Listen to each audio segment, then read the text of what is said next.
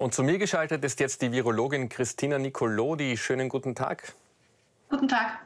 Frau Nicolodi, die Europäische Arzneimittelagentur empfiehlt weiterhin den Einsatz des Impfstoffes von AstraZeneca und das, obwohl er in seltenen Fällen zu Hirnthrombosen führen kann. Öfter betroffen als Männer sind Frauen. Warum ist das denn so? Die Hintergründe dazu sind leider noch nicht vollständig geklärt. Da könnten sehr viele unterschiedliche Risiken mit einspielen. Wir haben jetzt momentan in etwa 160 Fälle dieser seltenen Hirnvenenthrombosen beobachtet von insgesamt 34 Millionen geimpften Leuten. Das ist relativ wenig.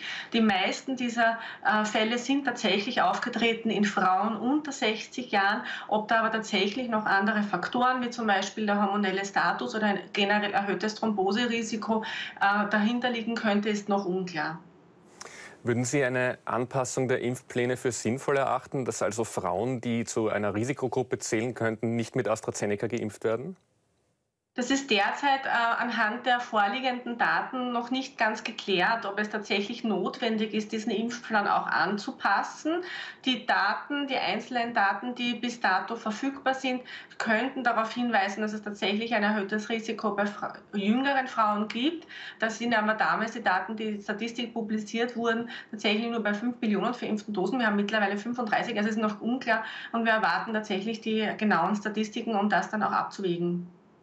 Jetzt hat AstraZeneca angekündigt, dass es diese Woche zu einem kompletten Lieferausfall kommen wird. Wie sehr wird uns das denn beim Impfen zurückwerfen? Das ist unglaublich bitter, weil es uns tatsächlich wieder bremst in unserem Impfvorhaben.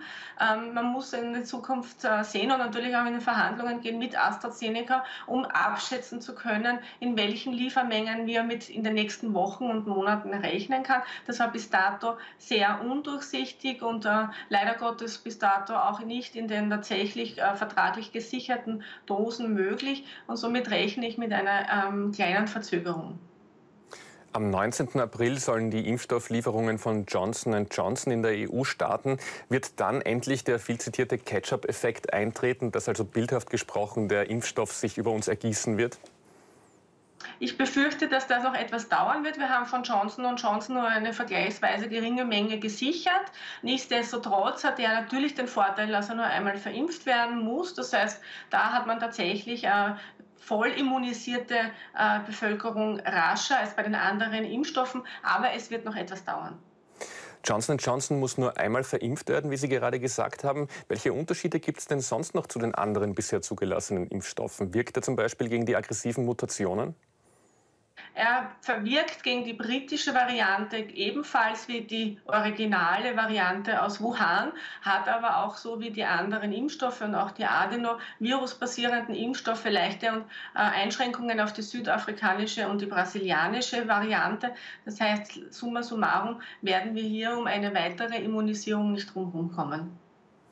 Noch nicht in der EU zugelassen ist der Impfstoff von Sputnik V. Einige EU-Länder, darunter auch Österreich, bemühen sich jetzt aber um diesen Impfstoff.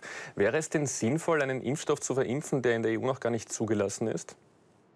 Das birgt ein gewisses Risiko. Man muss da dazu sagen, ähm, dass äh, sehr viele Menschen, schon auch hier Millionen von Menschen global mit Sputnik wie geimpft wurden und dass bis dato sehr wenig Sicherheitsbedenken aufgetreten sind. Also dürfte sehr sicher sein. Man muss auch sagen, dass äh, Russland und die Russen sehr gute Impfstoffentwickler sind. Das habe ich aus eigener Erfahrung schon feststellen dürfen.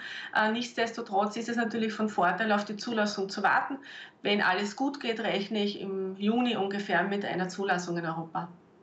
Christina Nicolodi, vielen Dank für die Einschätzung. Gerne.